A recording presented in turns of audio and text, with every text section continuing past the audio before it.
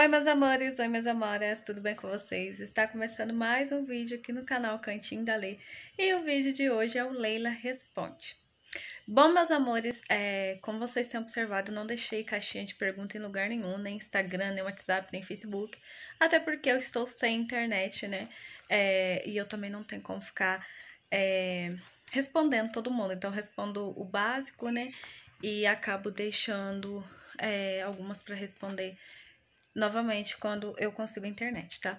Eu anotei umas perguntinhas aqui, ó, no caderninho todo rabiscado, para responder para vocês, que são é, dúvidas assim frequentes, tá? Que quem me conhece, quem convive comigo, vive perguntando. Então eu resolvi responder aqui para vocês, tá? Então, perguntinha número um: por que mudamos tanto, né? E o motivo de termos mudado recentemente. É, gente, eu sou casada há nove anos, tá? E nesses nove anos eu acho que eu já mudei por aí umas dez, dez vezes mais ou menos. Porque a gente acaba não se adaptando, é, acaba os vizinhos é, encrencando com a gente, apesar de a gente ser bem sossegado, né? É, eu com meu marido não temos motivo nenhum de ficar caçando intriga com o vizinho. Mas é, acaba que alguns vizinhos, né, nos tira paciência, acontece alguma coisa assim que não, não nos agrada e a gente acaba sentando, conversando. E a melhor opção nossa é, vem a ser mudar de lugar, né? Então, esse é um dos principais motivos de que a gente vive mudando, mas dessa última vez a gente mudou pela oportunidade mesmo que foi oferecido pro meu marido, tá bom? É, pergunta número dois, se o Francisco já se acostumou com uma pergunta frequente que todo mundo pergunta para mim. Já, gente, o Francisco super acostumou, ele é super tranquilo, tá? A, a questão de mudança, ele não dá trabalho nenhum, apesar de a gente estar tá sem internet, ficamos um bom tempo sem televisão e nem isso foi um dos motivos para ele não se adaptar, tá? Então ele é super tranquilo em relação à mudança de casa, tá? Uh, pergunta número 3, se temos planos. Eu com meu marido temos vários planos, né? A gente assim, só comenta entre nós dois mesmo, não gostamos de ficar comentando com muita gente, né? Até porque eu acho que são planos pessoais, né? São metas pessoais nossas. Então, assim, a gente acaba ficando quietinho no nosso canto até a gente é, ver que deu certo e, e acaba revelando, tá? Mas a gente tem sim muitos planos, inclusive planos ainda para esse ano, né? Se tudo der certo, né? Vamos torcer para que dê, né? Uh, pergunta número 4, porque não temos internet. A questão da internet aqui, gente, é que a gente mora num vale, tá? Eu ainda não mostrei pra vocês, assim, é, realmente onde eu moro, né? Até por pelo dono mesmo, né? Acabar achando ruim, enfim.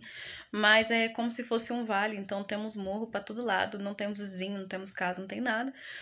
E, e esse acaba sendo um prejudicial, né? Porque até trazer a internet aqui sai muito caro se eu não me engano, aí por volta de 6 mil reais, né? Uma instalação de antena aqui por perto. Mas é, a gente já vai, já está procurando por modem também, saber por modem. Mas até onde a gente sabe, o que pega aqui é a internet via satélite. Mas é uma coisa assim, fora de cogitação, porque é super caro, tá? Acho que é em torno de 300 reais mensais, tá? Então, para nós não compensa.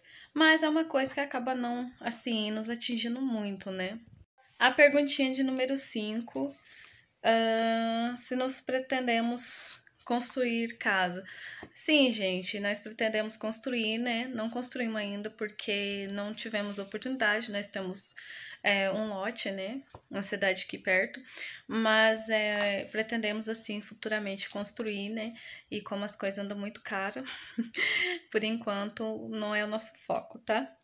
Uh, sobre a escola do Francisco. Francisco estuda em casa, tá, gente? Apesar de estarmos é, sem internet, né?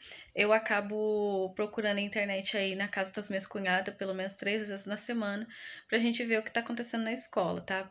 É, tem um grupo de WhatsApp, mas como eu disse para vocês, que é só quando tem internet pra realmente abrir, tá?